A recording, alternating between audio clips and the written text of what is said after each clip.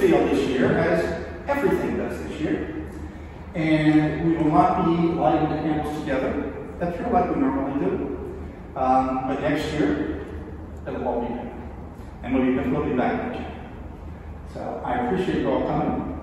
And uh, I want to tell you that uh, we have an angel tree back here in the foyer of our chapel if you want to be somebody's angel and take time to help somebody out.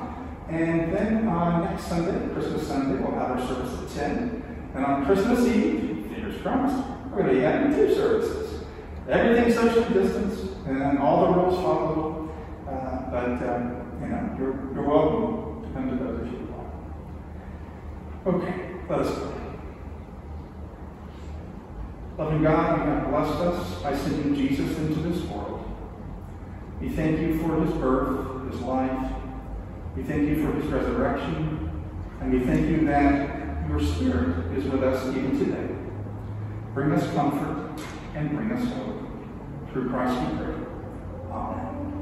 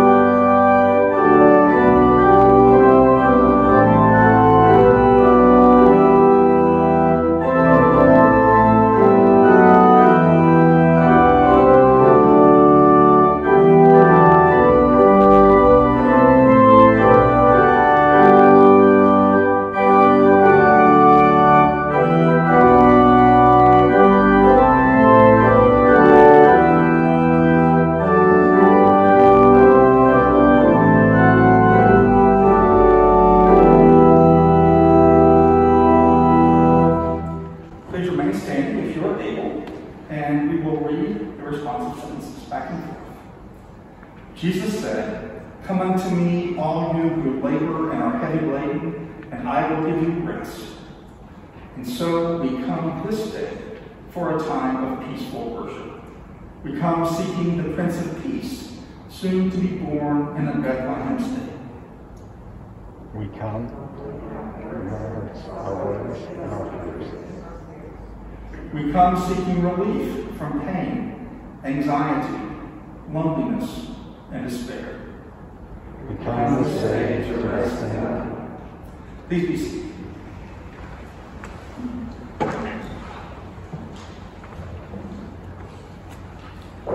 And now the Christmas story from Luke chapter 2. And it came to pass in those days that there went a decree from Caesar Augustus that all the world should be taxed.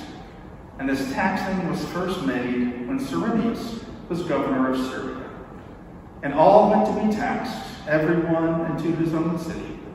And Joseph also went up from Galilee, out of the city of Nazareth, into Judea, into the city of David, which is called Bethlehem, because he was of the house and lineage of David, to be taxed with his espoused wife, being great with child. And so it was that while they were there, the days were accomplished that she should be delivered. And she brought forth her firstborn son, and wrapped him in swaddling clothes, and laid him in a manger, because there was no room for them in the inn. And there were in the same country shepherds, abiding in the field, keeping watch over their flock by night. And lo, the angel of the Lord came upon them, and the glory of the Lord shone round about them, and they were sore afraid. And the angel said to them, Fear not, for behold, I bring you good tidings of great joy, which shall be to all people. For unto you is born this day in the city of David a Savior, which is Christ the Lord. And this shall be a sign unto you. You shall find the babe wrapped in swaddling clothes and lying in a manger. And suddenly there was with the angel a multitude of the heavenly host, praising God and saying, Glory to God in the highest, and on earth peace, goodwill toward men. And it came to pass, as the angels were gone away from them into heaven, the shepherds said to one another, Let us now go even unto Bethlehem, and see this thing which the Lord has made known to us. And they came with haste, and they found Mary and Joseph and the babe lying in a manger. And when they had seen it, they made known abroad the saying which was told them concerning this child. And all that heard it wondered at these things which were told to them by the shepherds. But Mary kept all these things and pondered them in her heart. And the shepherds returned, glorifying and praising God for all that they had heard and seen, as it was told unto them. In the reading of these words, may we hear the word of the Lord. Amen. Good afternoon, and thank you for coming.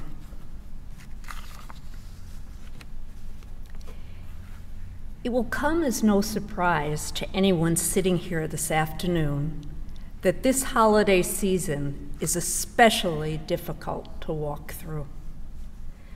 There are just too many instances of fear, loneliness, and grief to absorb. The sickness or loss of loved ones, the social isolation, the economic insecurity, the sorrow over the state of our nation and our world. It is no wonder that our spirits are bowed so low. In previous times of trouble, we might have been able to turn to our friends, our, our churches, and many, many others for support and consolation. But today, it is likely that they too are distracted by their own fears and grief. So while the holiday carol tells us that we need a little Christmas right this very moment, COVID and other circumstances make that very difficult to attain.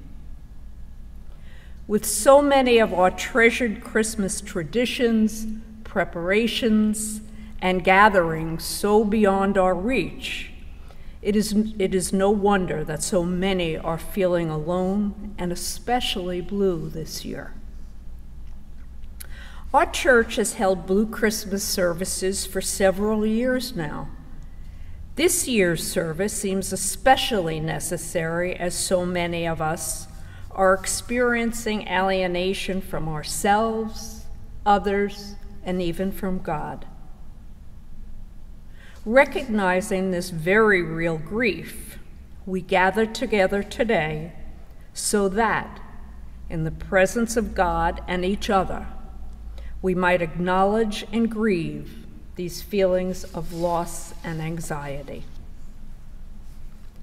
Our Blue Christmas service is a time to acknowledge and to share that sadness with others who understand. We can then offer those feelings and situations to God, ever hopeful of God's presence and healing as we journey toward Christmas. This intimate and holy gathering assures us that, notwithstanding our situation or our feelings, we are not alone in our sadness, as God has promised to remain close to the brokenhearted. As Jesus announced early in his ministry, he did not come to save the well. He came to claim the sorrowing, the abandoned, and the despairing. Thus he is at this very moment, most clearly in our midst. And perhaps if we can become very still, we may hear the invitation which Jesus directs to our hearts Come to me, be with me. I came so that you might know abundant life. I will not abandon you no matter what. Yet while these words seem comforting, how might they temper today's real life, which presents so much evidence to the contrary? Can we really find peace in and for our world, our families, our own souls? Or is that just a quaint notion of people and Christmases long, long ago? I think not. Our God has made an everlasting promise to be with each of us, wherever we are, in high, joyous places, as well as in low, sorrowful places, and everywhere in between. In this time of pandemic, isolation, and loss, while our hearts may be heavy, and our sadness may sometimes seem overwhelming, these very real feelings are not the final word for those who believe in our God. While I was preparing for today's service, I heard a news report which referenced the anniversary of the tragic shootings at Sandy Hook Elementary School in Newtown, Connecticut. Eight years ago, on December 14th, 2012, 20 sweet angels and six of their loving teachers were mercilessly gunned down by a crazed young shooter. As you may recall, the shootings took place on a Friday afternoon. Reverend Jared Doyle of the nearby St. Rose of Lima Church was responsible for preaching at the Sunday service just two days after the tragedy. The town and much of the nation was near inconsolable. Yet, I still remember being so comforted by reading portions of Father Doyle's sermon, which I looked up again this week. Amid this unspeakable tragedy, Father Doyle poignantly concluded his sermon by stating As you leave from here, you will not remember what I said today and it will become unimportant, and that's all okay. But eventually, you will really hear deep down that Word of God that will finally and ultimately bring peace and joy. That is the Word by which we live. That is the Word by which we hope. That is the word by which we love. Though the context in which Father Doyle spoke differs much from that of today, the fear, the pain, and the desperation of the mourners contain many similarities to our situation today. Many of us may also feel lost, frightened, and perhaps inconsolable when pondering our current plight. Yet, Emmanuel, which means God with us, journeys with us through all of life's peaks and valleys. Whatever we are feeling is acceptable to Jesus. We need not put on a brave face for the one who says, Come to me I will give you peace, my peace, the peace which passes all understanding. Recalling the promises of the one who appeared in our midst, seemingly a mere helpless infant, yet the greatest comforter known to humanity, we can more peacefully await God's doing a new thing and restoring our souls in this time. So today, let us look forward to the manger as we await the coming of the Prince of Peace, who reassures, comforts, and wipes the tears from our eyes yet again. May it be so. Amen. And now let us pray. Dearest Lord, we ask that you bestow your peace direction, healing, and comfort on all your people. Please continue to aid our scientists and health professionals in their work and in their search for healing and cures. Please especially be with all of those who are sick or dying or mourning or who are feeling hopeless during this Christmas season. We now stop here for a moment of silence so that you may silently add your own intentions.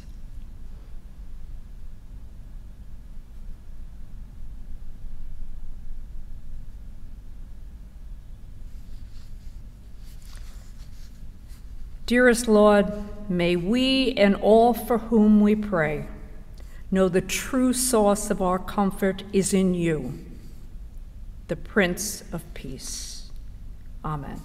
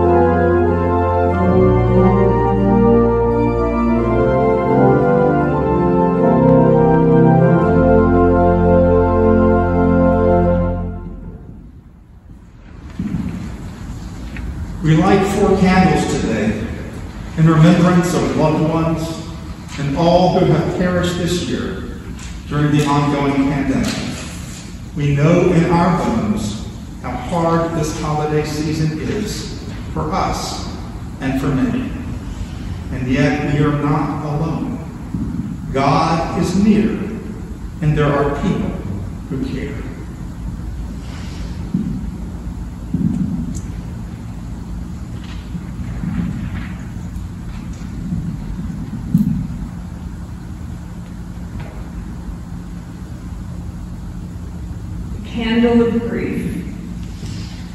This candle represents our grief. We own the pain of losing loved ones and the loss of life in our own town and around the world. We acknowledge the grief of dreams that go unfulfilled and of hopes that evaporate in despair.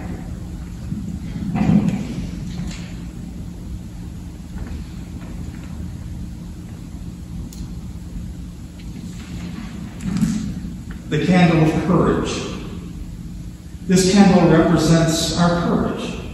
It symbolizes the courage to face our sorrow, to comfort each other, to share our feelings honestly and openly with each other, and to dare to hope in the midst of pain.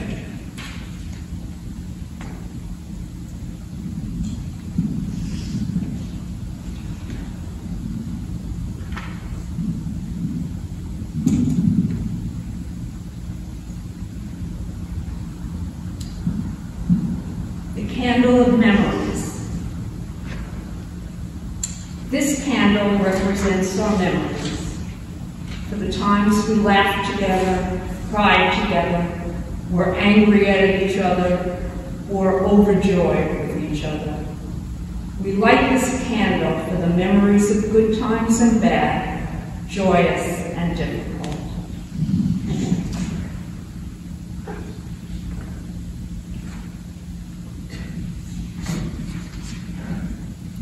The candle of love. This candle represents our love.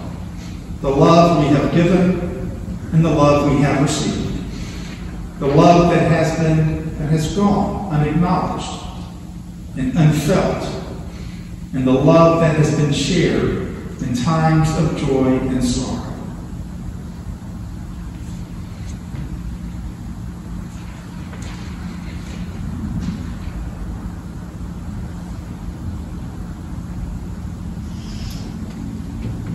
the Christ candle. In the center of this table, we light the Christ candle, remembering that with the birth of Jesus, a new hope was born in our world. With God's help, the hope of Jesus can be born in us too, as we remember that God is ever near in all of life's ups and downs. God hears our cries, knows our hearts, and offers us hope and healing.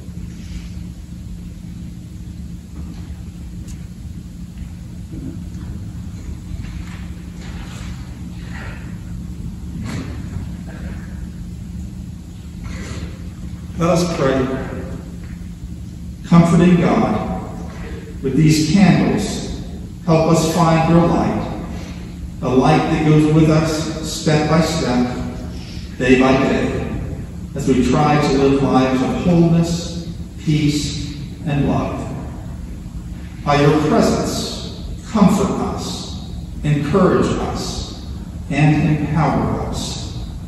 Through Jesus Christ, the Prince of Peace, we pray. Amen.